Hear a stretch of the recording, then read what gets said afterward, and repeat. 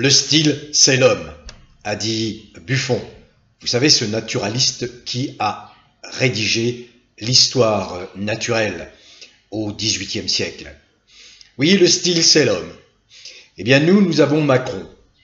Macron, depuis qu'il est arrivé au pouvoir, n'a cessé de se prendre les pieds dans le tapis dans toutes ses entreprises. Mais lui n'en a jamais eu conscience. Ceux qui en ont conscience se gardent bien de contrarier le monarque. Mais là, cette fois, c'est assez euh, amusant. Il s'est pris non pas les pieds dans le tapis, mais il s'est pris les narines dans le masque. Enfin, dans le masque, dans la muselière. Il est le premier à montrer qu'il s'étouffe sous un masque porté pourtant quelques minutes. Imagine-t-il la torture, la souffrance qu'endurent ces jeunes enfants qui sont obligés, sous l'autorité imbécile des directeurs euh, d'école, des surveillants, euh, de supporter, au détriment de leur santé, bien sûr, un masque durant toute une journée. Et c'est pourtant Macron qui impose ce genre de loi, ce genre de disposition totalement crétine. Eh oui, le style, c'est l'homme. Macron, maintenant, il est parfaitement identifié. Et ne vous fiez pas aux apparences. Il y a beaucoup trop de découragement qui ne repose que sur, en réalité, un déversement perpétuel de désinformation, de vos missures par les médias aux ordres de Macron. Il y a beaucoup euh, de raisons de garder confiance et de penser que le cauchemar va se terminer. Quelle que soit la date mais rien que le fait de penser que de toute façon il ne sera pas réélu en 2022, c'est ma conviction profonde. Elle ne repose pas euh, sur une analyse euh, légère, pas du tout. Elle repose sur la prise en compte de données, de paramètres, de repères que euh, je consulte périodiquement et qui me laisse véritablement à penser que de toute façon Macron est en fin de règne. Il le sait. En tout cas, je pense que autour de lui, certains de ses conseillers l'alertent en permanence. Mais il est trop euh, obnubilé par sa personne. Euh, il est tellement auto-centré sur lui-même qu'il refuse de voir cette réalité. Et pourtant, cette réalité, elle est criante. Alors, je vous donne quelques éléments d'appréciation. D'abord, retour aux élections municipales qui ont eu lieu. Euh, je vous rappelle que, si vous ne le savez déjà, euh, il y a 573 élus municipaux, conseillers municipaux et maires confondus. Ça a été une défaite cuisante pour Macron qui pensait s'ancrer localement. Il ne l'a pas du tout, il n'a pas du tout réalisé euh, son projet d'ancrage local. de toute façon, il est tellement éloigné de la vraie France Hein, de la France des terroirs, euh, de la France euh, qui vit, qui respire comme on la connaît, comme on l'aime, de ses petits restaurants, de ses petits artisans, de ses petits commerçants, de ses agriculteurs, euh, de ses petits centres de soins, etc., etc. Tout ce qui a été démoli en 30 ans par l'ultralibéralisme qui a été servi par les présidents de la République successifs. Mais lui, c'est un destructeur de la France hors pair, hors Bon, il y a 573 000 donc élus locaux, municipaux et euh, je ne parle pas des autres, hein, des conseillers régionaux ou des conseillers départementaux, je parle simplement euh, des municipalités. Eh bien, il n'a réussi à euh, gagner que 12 000, 12 000 sur 573 000 élus municipaux, encore une fois, conseillers municipaux et maires confondus, ce qui veut dire qu'il n'a comme ancrage qu'un tout petit 2%. Et on, voit, on voit par rapport à la population en âge de voter, il représente à peine 1%. Donc c'est dire à quel point il est marginal, à quel point il ne représente qu'un groupuscule. Alors, je pense que euh, à la lumière de ces derniers événements, euh, dont je vais vous révéler la teneur, mais peut-être que certains sont déjà au courant, mais la, la République en marche, ou les raclures en marche, continue à se fissurer. Vous voyez, euh, normalement, ils avaient la majorité euh, absolue en avril 2017 avec 314 députés. Euh, ils ne sont plus que 279. Et ce nombre va chuter à 276 parce que, à nouveau, trois élus des Républiques En Marche vont quitter le groupe La République En Marche et, bon, ça n'est pas mieux, vous me direz, mais vont rejoindre le Modem qui compte 45 ou 46 députés. Ça va me permettre de vous éclairer sur les intentions des uns et des autres dans la perspective de 2022, parce que les dagues sont sorties du fourreau, bien qu'encore dissimulées dans le dos. Et dernièrement, je vous parlais des ambitions d'Édouard Philippe, hein, que ses amis, euh, les républicains la droite plus généralement, aimeraient bien voir euh, se présenter à l'élection présidentielle pour euh, combattre Macron. Vous voyez, ils étaient amis il y a quelque temps, maintenant ils deviennent ennemis. Mais ça ne s'affiche pas clairement, bien sûr, et les médias se gardent bien de, de, de, dire ça. Vous savez que récemment, Macron a nommé haut commissaire au plan Bayrou. Bayrou, qui est sous le coup euh, d'une mise en examen pour complicité de détournement de fonds publics, Bayrou, qui avait dû démissionner de son poste de ministre de la Justice, garde des Sceaux, à cause donc de ses poursuites judiciaires, eh bien, euh, Macron, euh, qui est de toute façon de plus en plus isolé, qui sent bien que on le lâche un peu partout, à qui le lâche? Bon, les Républicains, avec Sarkozy, je vais aussi en dire un mot, euh, on le lâche bien sûr, ce sont les, les, socialistes, les socialistes traitent, qui commence à se dire hm, on n'a peut-être pas bon choisi le bon cheval. Et là, on voit Hollande qui critique ouvertement et publiquement euh, les violences d'État commises par Macron. Donc, pour revenir à Bayrou, eh bien, que fait Macron? Il comprend que tout le monde le lâche et il veut surtout pas que Bayrou le lâche parce que lui, Bayrou, c'est un apport considérable à l'Assemblée nationale, dans la Chambre des députés, puisque avec ses 46 députés, il assure quand même la majorité présidentielle de Macron. Or, euh, Macron n'a, je le répète, plus que 279 députés, édicté euh, la République en marche et il y a encore des mouvements euh, de découragement au sein de la République en marche. Euh, certains vont jusqu'à dire que ça y est, la République en marche, euh, c'est fini. Hein, pour plusieurs, par exemple, députés LRM, ils n'hésitent pas à employer cette expression, ça n'est pas Verdi, c'est eux, LRM est en train de mourir. je le cite, hein, j'ouvre les guillemets, le mouvement a atteint ses limites à donc à deux ans, à moins de deux ans de l'élection présidentielle, eh bien de plus en plus euh, de raclures en marche, de marcheurs, semblent être totalement désespérés par leur parti. C'est ce que nous révèle euh, le JDD du 6 septembre. Donc c'est tout, c'est tout récent. Hein.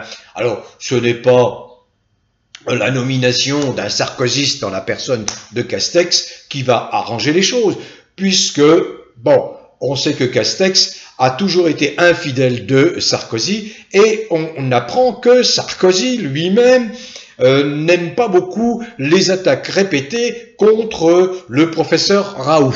Ah, Bon, euh, c'est la réponse du berger à la bergère, parce que en fait, si vous voulez, euh, Macron n'avait pas apprécié effectivement une intervention euh, de Sarkozy, je ne sais plus à quel propos. Donc, pour revenir à Bayrou, eh bien, pour éviter que le MoDem ne fasse sécession et le laisse en plan pendant les deux années à venir, euh, en plan, ce qui contrarierait complètement son projet de reconquérir le pouvoir et de se succéder à lui-même en 2022, eh bien, euh, en dépit de la mise en examen de Bayrou, Bayrou, il lui a offert un poste ministériel, car haut commissaire, c'est équivalent à ministre. Haut commissaire au plan.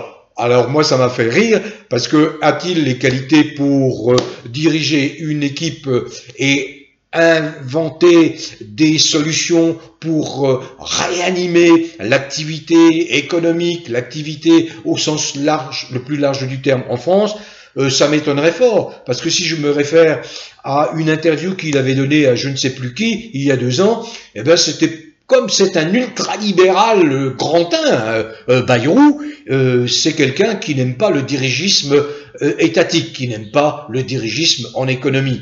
Et il avait bien fait part de sa position à ce propos. Euh, pour lui, il n'était hors de question euh, de revenir aux solutions qu'avait adoptées le général de Gaulle pour redresser la France d'après-guerre, c'est-à-dire la planification. Alors oui, dans sa tête, si vous voulez, comme c'est un dogmatique, euh, Bayrou, oh, planification, ça y est, c'est communisme, voyez C'est pourquoi pas stalinisme, mais le plan le plan, c'est une excellente chose euh, pour organiser une société. Voilà. Donc, ceci pour vous dire que, contrairement aux apparences, eh bien, rien ne va plus les apparences qui sont entretenues par les médias aux ordres. Hein. Rien ne va plus, à moins de deux ans de l'élection présidentielle, rien ne va plus pour Macron. Alors, il fait feu de tout bois, pourquoi? Eh bien, pour poser les bases euh, d'une campagne électorale présidentielle qui lui permettrait une réélection. Alors, donc, première base, il s'assure euh, de la fidélité et du soutien de Bayrou. Et puis, seconde base, eh bien, il vient de décider d'une aide, d'une aide aux merdia, tenez-vous bien, d'une aide de un demi-milliard d'euros. 483 millions d'euros qui vont être attribués exclusivement aux médias, c'est-à-dire aux médias qui, pour beaucoup, sont en quasi-faillite. Hein, je parle par exemple de BF Mère de TV, est en quasi-faillite, avec 50 milliards de dettes. Hein, 50 milliards de dettes. Eh bien non, euh, Macron vient de décider d'une aide de ce demi-milliard euh, pour ces médias. Oh, il ne va pas aider euh, les petites chaînes, euh, les médias qu'on voit principalement sur les réseaux sociaux, sur Internet. Là, là, il n'est pas question de les aider, cela. Au contraire, hein, il faut les tuer, il faut les assassiner, il faut les ennuyer, il faut organiser un maximum, déclencher un maximum de procédures judiciaires pour les faire taire. Cela, non, il ne les aime pas, parce que cela euh, fait effectivement contradit, contrarie son projet. Mais vous imaginez un petit peu, euh, ces 500 milliards, millions, millions d'euros attribués aux médias s'ajoutent déjà aux 840 millions annuels que l'État donne à la presse. Alors il y a une partie qui est justifiée, hein. il ne faut pas non plus condamner la totalité de cette aide. Et cette aide, c'est pas Macron qui l'a décidé. Il y a des raisons à cette aide. Moi, je ne vais pas combattre cette aide. Hein. Je ne suis pas, encore une fois, un... Euh, je n'ai pas des œillères. Mais il faut comprendre que quand même, cette aide de 840 millions bénéficie également principalement à tous les médias qui servent la propagande honteuse euh, de nauséabonde hein, euh, en faveur de Macron. Et il faut aussi comprendre que l'État français dépense 6 milliards d'euros qui vont directement dans la poche des médias publics. Et des médias publics traîtres, traîtres à leur mission, à leur devoir de service public, car 90% d'entre eux servent la cause macronienne alors qu'ils sont des fonctionnaires, ou en tout cas assimilés fonctionnaires, qui doivent euh, rendre un service public, le service de l'information honnête, objective, qui respecte la pluralité, le pluralisme, euh, toutes les opinions. Or, il n'en est plus rien. Et puis, imaginez bien que, par exemple, si je prends l'exemple euh, de, des salaires qui sont servis. Je vous avais expliqué euh, dans une de mes dernières vidéos qu'il y a une grille des salaires pour la presse, la presse écrite et la presse audiovisuelle. Si je prends la grille des salaires, le salaire de la presse audiovisuelle, le maximum qui peut être versé à un journaliste, c'est ce, c'est 5400 euros par mois et c'est versé à un rédacteur en chef. Regardez un petit peu à quoi sert notre argent, hein, à nous contribuables, à verser euh, des salaires exorbitants à des gens qui sont là, qui passent leur temps à nous démolir, à démolir les braves gens, à démolir euh, les manifestants, à démolir les gilets jaunes, à démolir tous ceux qui contrarient la parole officielle. Regardez, prenez un Patrick Cohen qui travaille sur la chaîne France 5, qui est une chaîne du service public audiovisuel. Il gagne plus de 20 000 euros par mois. En vertu de quelle disposition? Il y a bien une grille officielle des salaires euh, de l'audiovisuel public et son salaire, s'il est rédacteur en chef, devrait être limité à 5400 euros par mois. Pourquoi euh, lui donner euh, trois fois, quatre fois plus? Mais dites-moi, en vertu de quel, quel talent euh, supposé de ce monsieur qui en réalité n'a aucun talent? C'est un journaliste qui vous le dit. Hein? Et je ne crache pas dans la soupe, puisque depuis 20 ans, 30 ans, je dénonce la presse prisonnière des marchands, la dérive de notre métier. Il n'y a plus de journalistes en France. Si, il y a une poignée, quelques centaines, courageux, ce qu'on appelle les dinosaures. Bon, euh, qui sont encore en activité et qui sont très courageux, qui font face. Donc voilà, Macron euh, s'attache euh, les services euh, de la presse dans la perspective de sa campagne électorale de 2022 et il vient d'élaborer, de décider d'un plan de soutien aux médias. Alors les médias, c'est qui? Eh bien, je vais vous les donner, les médias. C'est Vincent Bolloré qui détient Canal+, CNews, Direct 8, Direct Matin. C'est Patrick Drahi, euh, l'Israélien, euh, qui détient Libération, Libération dont la mission est de casser toutes les vraies informations en les taxant de fausses nouvelles, ce qu'ils appellent fake news. Mais vous savez que moi je ne suis pas un adepte euh, de la langue anglaise, je défends la langue française. Donc moi ça ne veut rien dire fac nev que c'est comme quand on vous dit nevs. Non, on dit nouvelle en France. Nouvelle, voyez Parlez français. Chassez tous les termes anglais de votre expression quotidienne, s'il vous plaît. Je vous en conjure. Hein euh, il y a alors donc Patrick Drahi qui possède Libération, qui possède l'Express, qui possède BF Merde TV, qui possède RMC, qui possède I24. Le troisième, c'est Dassault, qui possède le Figaro. Ah, je serais moins, j'aurais moins la dent dure vis-à-vis de mes confrères du Figaro, qui de temps en temps sortent quelques vérités qui sont très mal digérées par le pouvoir. Il y a bien sûr euh, Bernard Arnault, euh, qui possède les échos, le Parisien, il y a Martin Bouygues, tout ça c'est les copains de Macron. Hein. Martin Bouygues qui possède TF1, LCI, NT1, euh, TMC, il y a Arnaud Lagardère qui possède Le Point, Europe euh, qui possède MCM, qui possède Match. Et il y a Xavier Niel, grand copain de Macron aussi, hein, qui possède euh, l'Observateur, qui possède Le Monde, euh, les décodeurs, etc., etc. Donc, c'est quand même des ultras riches, ce sont des milliardaires. Est-ce que nous, Français, contribuables français, euh, nous devons encore supporter ces gens qui font tout pour nous détruire? Regardez, euh, Bernard Arnault, qui est la quatrième fortune du monde, hein, avec, je crois, 65 milliards d'euros. Eh bien, lui seul, il reçoit 15% de toutes les aides publiques directes à la presse, qui sont ces aides euh, prélevées sur nos impôts. Donc voilà, vous dire que Macron est très fébrile, contrairement aux apparences. Sans compter que ces euh, merdias, pour certains, touchent des aides substantielles de la part du célèbre, entre guillemets, Bill Gates, de Facebook, de Google, qui leur donne des millions, donne des millions à ces journaux qui portent la voix officielle de Macron. Par exemple, la fondation Bill Gates a donné 2 millions d'euros au journal Le Monde. Comment voulez-vous que Le Monde demeure un journal, pourtant qui était un journal reconnu, respecté hein, pour son objectivité, comment voulez-vous que sous une pression financière pareille, hein, simplement pour euh, survivre, euh, comment voulez-vous que les journalistes puissent garder leur honnêteté, leur objectivité, leur indépendance. Encore une fois, je ne veux pas jeter la pierre à l'ensemble de mes confrères, mais ils sont complètement coincés par ce système.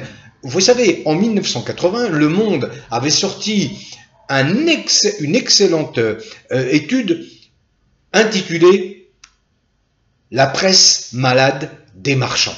La presse malade des marchands. Eh bien, le monde, les gens qui travaillent au monde, devraient se souvenir de cette étude, s'y replonger, parce que nous en sommes là. Bon, mais le sujet est très grave, et je pense que dans une autre France, il faudra bien évidemment réorganiser euh, la presse, parce que la presse, l'information, c'est ce qu'on appelle communément le quatrième pouvoir. Et sans ce quatrième pouvoir, qui rééquilibre les pouvoirs des autres, qui rééquilibre les trois pouvoirs institutionnels, c'est-à-dire le pouvoir exécutif, le pouvoir législatif et le pouvoir judiciaire, sans euh, la présence de ce quatrième pouvoir, eh bien, on assiste à tous les excès, c'est-à-dire on s'aperçoit de la dérive antidémocratique. C'est ce que nous vivons avec Macron, qui a à sa botte quasiment 90% de euh, la presse que l'on connaissait euh, jusque-là,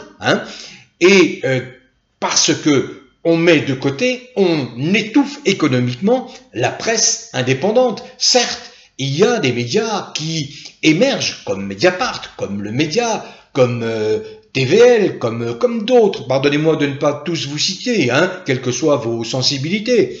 Mais aujourd'hui, c'est une faillite totale de la presse traditionnelle qui s'est faite acheter par les marchands, par les ultra riches et qui font euh, tout ce qu'ils veulent puisque à partir de la presse, eh bien vous pouvez manipuler les esprits, manipuler l'opinion, fabriquer cette opinion, surtout à l'approche d'échéances qui sont des échéances euh, essentielles pour le pays, à savoir cette échéance qui est l'échéance clé, l'échéance là, euh, l'élection présidentielle.